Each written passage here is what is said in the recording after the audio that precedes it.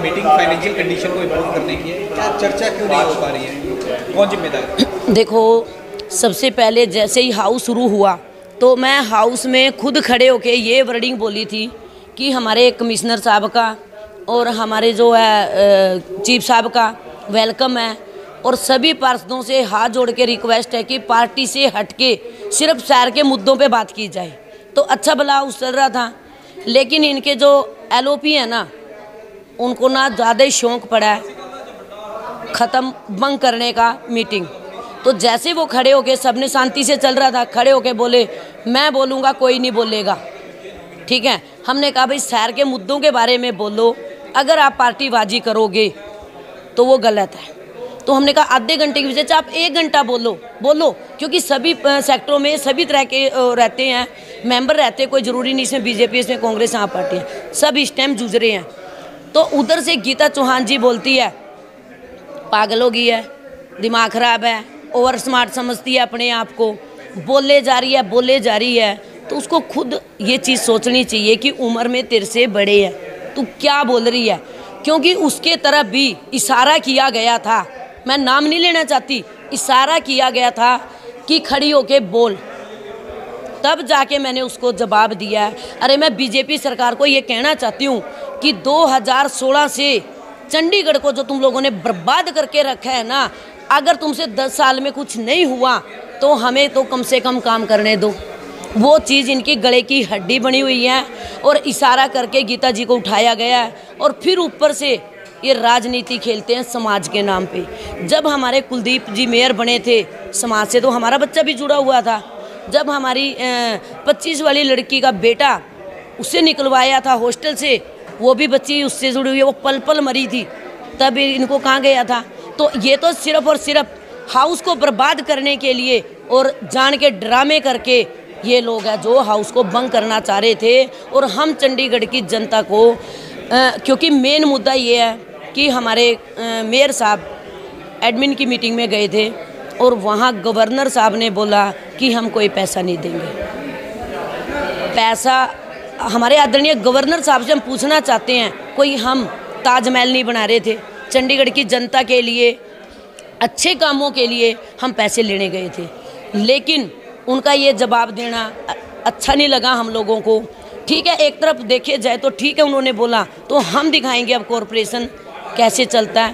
क्योंकि सबसे पहले हम एडमिन पे ही पानी के बिल और टैक्स ये चीज़ें वसूलेंगे मुझे लगता है आने वाले अगर वो एडमिन वाले चीज़ें हमें दे देना तो अगली साल खुद गवर्नर साहब कहेंगे को अगर पैसे की ज़रूरत होगी तो भगवान करे हम उन्हें दें ਦੇਖੋ ਬਹੁਤ ਜ਼ਿਆਦਾ ਉਹਨਾਂ ਦਾ ਬਕਾਇਆ ਹੈਗਾ ਹੈ ਜਿਹਦੇ ਤੇ ਮੈਂ ਉਹੀ ਕਿਹਾ ਸੀ ਜਦੋਂ ਅਸੀਂ ਪ੍ਰਾਈਵੇਟ ਬੰਦੇ ਦਾ ਸਾਡਾ ਦੂਜੀ ਕਿਸ਼ਤ ਤੇ ਅਸੀਂ ਜਾ ਕੇ ਉਹਨਾਂ ਦੇ ਮੀਟਰ ਬੰਦ ਕਰ ਦਿੰਦੇ ਆ ਸੀਵਰ ਦੇ ਕਨੈਕਸ਼ਨ ਕੱਟ ਦਿੰਦੇ ਆ।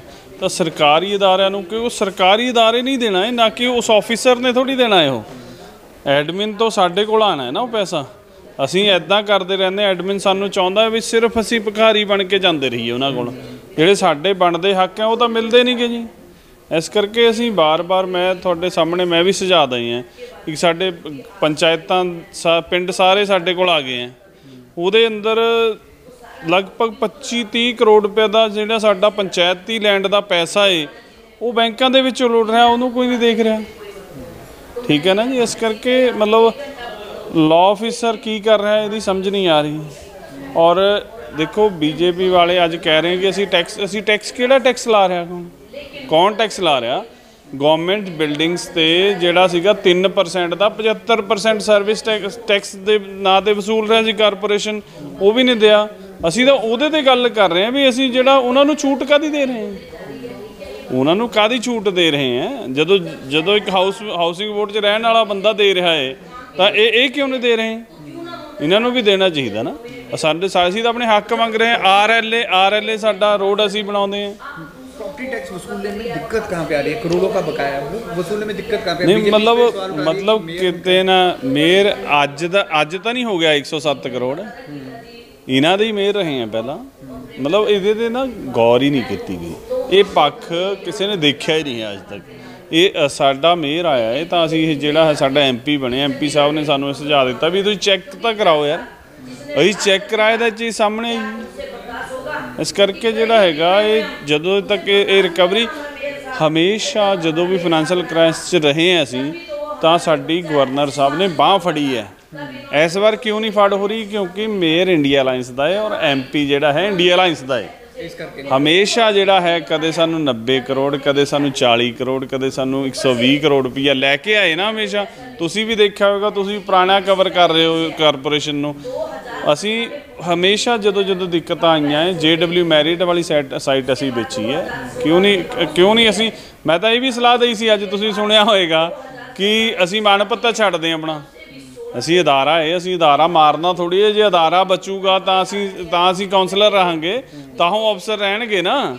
ਮੈਂ ਮੈਂ ਹੁਣ ਅਫਸਰ ਸਾਹਿਬਾਨ ਕਿੱਥੇ ਆਪਣਾ, ਕੌਣ ਮਹੀਨੇ ਦੀ ਤਨਖਾਹ ਛੱਡੇ ਠੀਕ ਹੈ ਨਾ, ਉੱਥੇ ਕਿਹਾ ਹੀ ਆ, ਉਹਨਾਂ ਨੇ ਕਹਿੰਦੇ ਜੀ, ਤੁਹਾਡਾ ਮਨ ਪੱਤਾ ਤਾਂ ਘੱਟ ਹੈ ਔਰ ਸਾਡੀਆਂ ਤਨਖਾਹਾਂ ਬਹੁਤ ਹੈ। ਉਹ ਤੁਸੀਂ ਸਾਡੇ ਜਿੰਨਾ ਹੀ ਛੱਡ ਕੇ ਦਿਖਾ ਦਿਓ ਵੱਡਾ ਦਿਲ ਕਰੋ, ਤੁਸੀਂ ਸਾਡੇ ਜਿੰਨਾ ਹੀ 60 60 ਕਰੋੜ ਰੁਪਈਆ ਸੈਲਰੀ 'ਚ ਜਾਂਦਾ ਹੈ 60 ਕਰੋੜ ਰੁਪਏ ਸੈਲਰੀਆਂ 'ਚ ਜਾਂਦਾ ਏ, ਤਾਂ ਇੱਕ ਮਹੀਨੇ ਦੀ ਸੈਲਰੀ ਸਾਡਾ ਖਜ਼ਾਨਾ ਭਰ ਦੂਗੀ। ਕੰਮ ਹੋਣਗੇ, ਪਬਲਿਕ ਦੇ ਕੰਮ ਤਾਂ ਨਹੀਂ ਹੋ ਰਹੇ ਨਾ। ਇਸ ਕਰਕੇ ਲੋੜ ਹੈ ਵੀ ਜਿਹੜਾ ਹੈਗਾ ਸੰਜੀਦਗੀ ਨਾਲ ਕੋਈ ਵੀ ਪੱਧਰ ਟਿੱਪਣੀ ਨਹੀਂ ਕਰੀ। ਇਹ ਕਹਿ ਰਹੇ ਹੈ ਕਿ ਜਾਤੀ ਤੇ ਇਹ ਕਰ ਰਹੇ ਹੋ, ਕਰ ਰਹੇ ਉਹਨਾਂ ਨੇ ਕੁਝ ਨਹੀਂ ਕਿਹਾ। ਉਹ ਦੋਨਾਂ ਦੀ ਹਮੇਸ਼ਾ ਪਹਿਲਾਂ ਵੀ ਹਾਊਸ 'ਚ ਸਾਨੂੰ ਪਤਾ ਹੈ ਕਿ ਇਹ ਤਲਖੀ ਰਹਿੰਦੀ ਹੈ। ਔਰ ਉਹੀ ਤਲਖੀ ਨੂੰ ਇਹਨਾਂ ਨੇ ਇਸ਼ੂ ਬਣਾ ਲਿਆ ਕਿਉਂਕਿ ਇਹ ਸੀਰੀਅਸ ਨਹੀਂ ਹੈ ਸ਼ਹਿਰ ਪ੍ਰਤੀ। ਇਹ ਚਾਹੁੰਦੇ ਹੈ ਕਿ ਇਹਨਾਂ ਤੋਂ ਪੈਚ ਵੀ ਨਾ ਲੱਗਣ, ਵੀ ਸਾਡੇ ਕੋਲ ਪੈਚ ਲਾਉਣ ਨੂੰ ਪੈਸਾ ਵੀ ਨਾ ਹੋਵੇ।